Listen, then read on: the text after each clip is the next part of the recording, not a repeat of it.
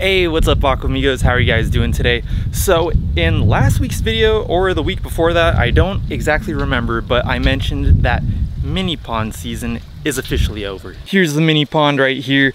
Um, I took all the guppies out of here. They're back indoors. And actually what I want to do today, check this out, is I want to make a mini indoor pond. I've seen several people on YouTube do this and it's always kind of been something that I wanted to try myself. So check this out. I have this blue tub right here. I've seen a bunch of people make these mini ponds out of these. So that's what I'm going to use. And then over here, I have two cinder blocks behind that. I just went and hosed everything off like a little while ago. So they should be pretty much dry.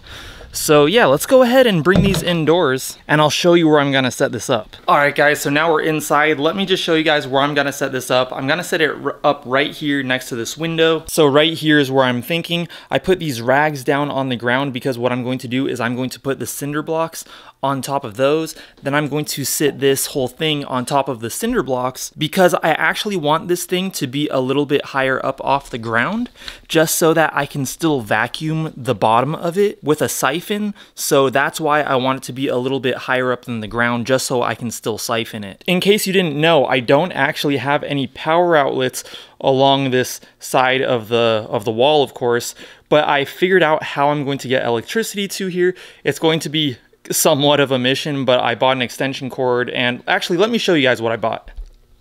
Alright guys, so this is what I bought right here. I bought two power taps and an extension cord, 35 feet, and this is what I'm going to do to get power to my indoor pond tub. So what I'm going to do is I'm going to run power from all the way over here where my 20 gallon tank is. So my 20 gallon tank is right here. The power outlet is right there. So I'll have the extension cable go straight up this wall and I'll have it go over my bathroom. My bathroom is on the other side of this wall and I'll have it go along these beams at the top. So it'll go along those beams and then I'll have it come down somewhere over here and then come down and then make its way to the tub right here, most likely behind that desk. So actually the main thing that I want to do with this tub is I want to attempt to overwinter some of my floating pond plants so that they don't die off during the winter.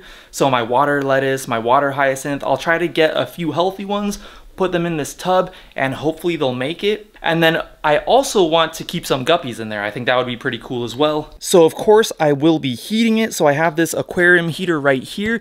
It might look like it's a very small aquarium heater. I mean, it is only 50 watts, but this is the same heater that I have in my 15 gallon tank and also my 20 gallon tank. And believe it or not, this tub right here, it might look like it's pretty big, but it's only about 19 gallons. So I know that that heater will be totally fine in this tub. It's actually also the type of heater that has a thermostat on it. I really like how those work. As for the filtration, I'm going to try to use the same filtration that I have in the mini pond right now. It's the DIY filter that I made. I think it worked pretty well in the mini pond, so I'm just going to have to modify it a little bit so it's not quite as loud because I do sleep in here, so I don't want it to be keeping me up at night. So I'm gonna go ahead and grab those cinder blocks and then we can get started.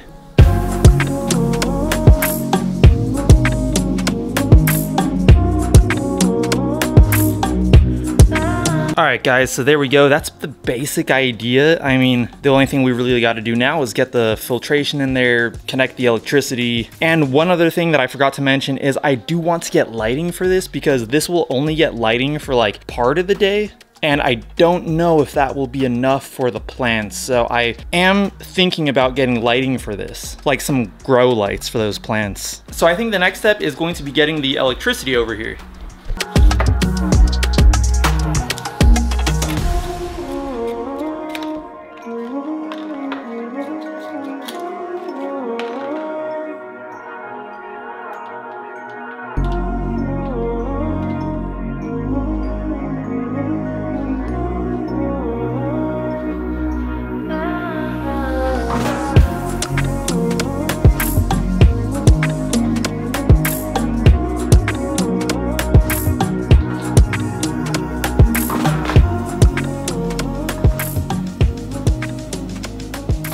All right, guys, so I got the power cable down here now. I have it. I'm lucky I was able to find a white cable because I think it blends in pretty well with the ceiling. And of course it goes all the way to the other side of here, behind here, and plugged in right here. I just wanna give this a little bit more slack. There we go. I think that's, that should be good. I think that should be okay. And I'm gonna get rid of all this stuff on this desk that's like way too messy right now. But let's go ahead and uh, I think fill this up with water first, or at least part of the way, and then we'll get the filtration in here and get it going.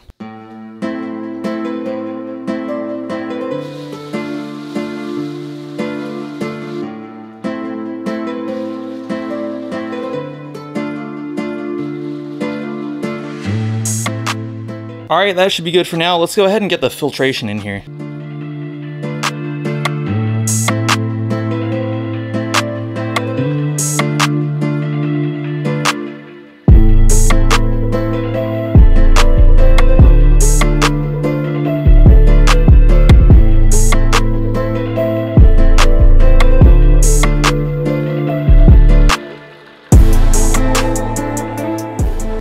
In case you haven't seen the video where I made this DIY filter, basically what it is, is I have a pump in here. The pump is at the bottom of this planter right here and I blocked off all the holes with plastic bags. Then I put in these lava rocks, which will serve as the biomedia. So water gets sucked through the top of the planter, passes through the biomedia, which is the lava rocks, and then the filter, or sorry, the pump shoots it back out the top and I actually just attached a hose because I believe the hose will make less noise than that fountain attachment that I had on here before and so that's why I attached the hose instead of that fountain attachment that I used to have on here.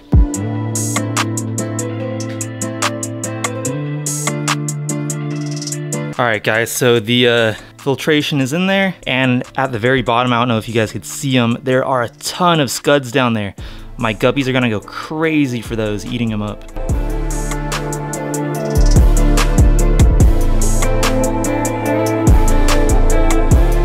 All right, so there we go, guys. Um, maybe I could, I gotta figure out how I'm gonna put this. All right, guys, so this is what it's looking like right now. Um, you know, I had to do some trial and error. It ended up not really working out with the hose because when you use the hose, you're not able to regulate the flow like you can when you have the fountain attachment. So what I did is I actually just took off the bottom part of the fountain attachment, which had the, the flow regulator. It's just like a little knob that you can turn and it controls like how much flow comes out through the top of the filter. The output is actually underneath the water and it kind of just like makes these little ripples up at the top. And basically the way that this filter kind of works is it's more or less like a sponge filter. Um, and since I, I, like, I honestly probably took apart this filter like three or four times just now. So the water got quite a bit cloudy from me doing that. So I'm probably gonna have to do a water change. So the water is a bit cloudy right now. But uh, yeah, I wanna go ahead and hook up the heater and put like one or two plants in here for the time being, just to see how it works out. So yeah.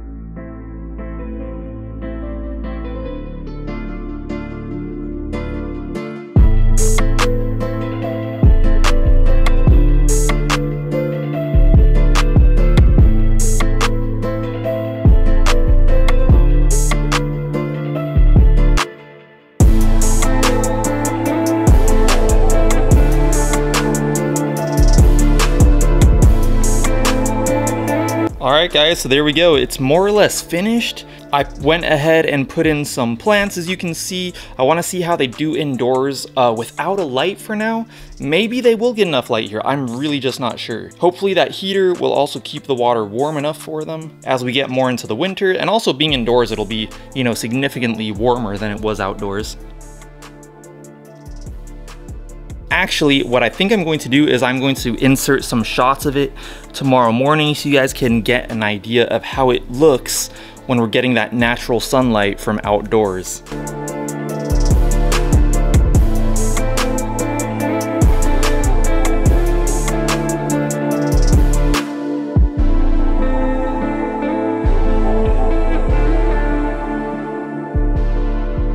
So anyways, guys, I think that's gonna be just about it for this video. I do have two shout outs.